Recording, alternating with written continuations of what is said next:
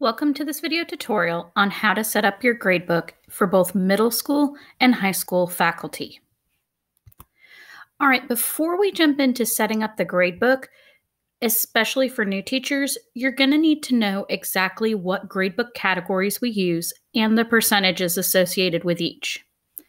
Now, at Hebron Christian Academy, all classes use three different categories daily assessments, minor assessments, and major assessments. Some departments, like science, English, or AP courses, have additional categories that they can use, such as lab or composition. Regardless of how many categories you have, all category totals must equal 100%. So let's talk a little bit about what daily assessments are. This is going to be your homework category, your classwork category, and maybe even participation. Whereas minor assessments are going to be your formative assessments like your quizzes. And major assessments might be something like a test or a project. Now, semester exams do not go into the gradebook. They are placed in a separate area, and you'll receive instructions closer to December and May on how to enter in your semester exams. The only exception to this is for sixth grade faculty. The first semester semester exam is actually worth a test grade. So we actually do put that one into the grade book. But again, you'll get further instructions when semester exams hit. Okay, so now that you know your categories and the percentages for each of the categories, let's see how we set up our grade book. When you go into the Hebron Hub and you access one of your classes, you're going to see underneath the name of the class, Launch Gradebook. This will open up another window, and I'm going to move it to the center. Where you're going to go is to the Settings icon. Now, the display options, feel free to look through the display options because you can customize how your gradebook looks for you and your preferences. I tend to find that the default is perfectly fine. If you're ever curious on who can see gradebook information, Gradebook Access will show you that coaches can see information, parents, students, and advisors. But where we want to focus is grade calculation. So when you go into grade calculation, the first thing you need to do is switch to marking period. This is going to open up another window and it's going to ask you to pick your calculation method. Now, this is a change for the 2022 23 school year. All teachers must select total points with weight. I'm going to select that for first semester and I'm going to select that for second semester.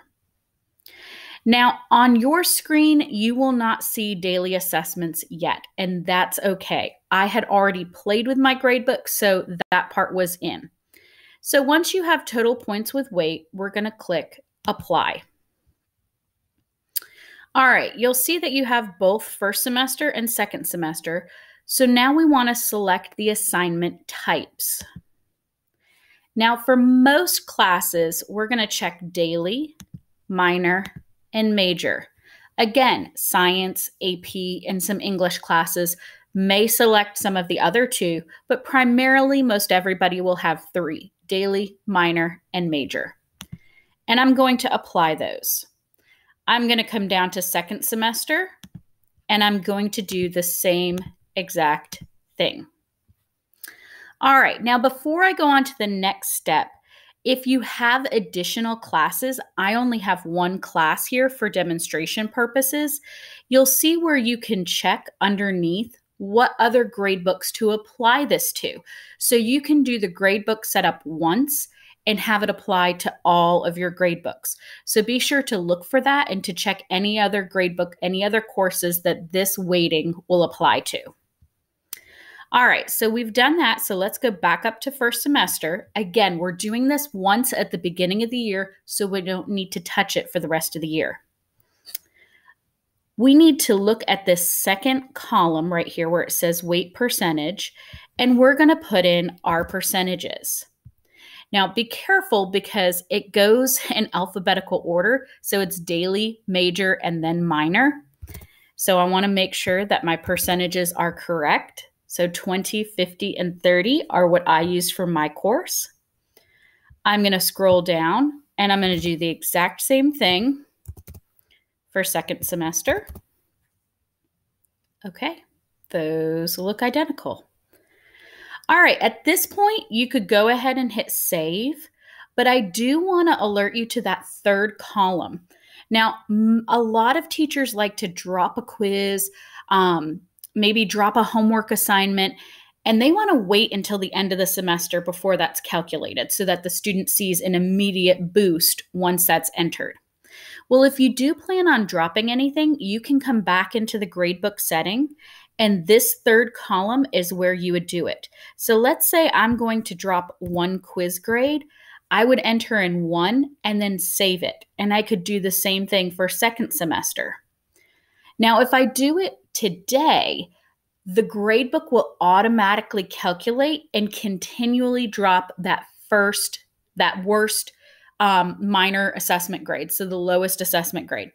And so this can be a little confusing for parents. So I actually would recommend before the end of the semester to come back in um, and enter that one a little bit later.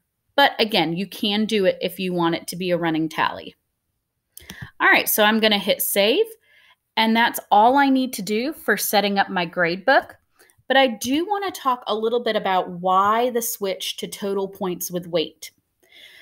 By switching our gradebooks to total points with weight, this allows teachers to have two different options when grading.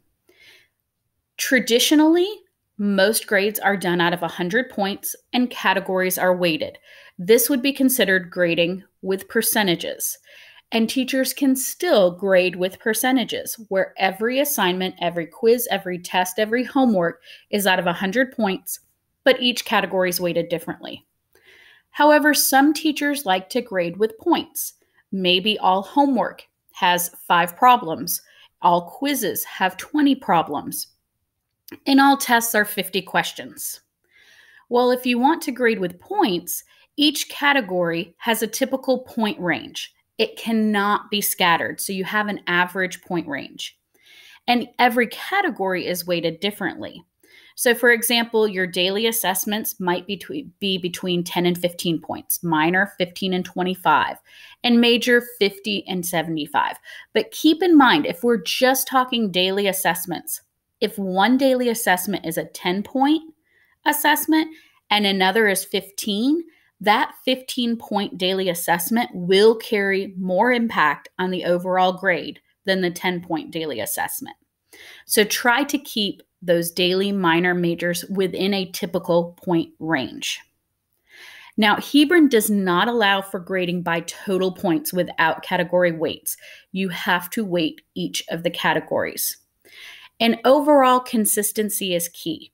When deciding which grading method you want to use, percentages or points, make sure you select a grading style that you plan to use for the entire year. Do not switch mid semester or mid year. Hopefully, this has helped you understand how to set up your gradebook. If you have any questions, feel free to reach out to technology.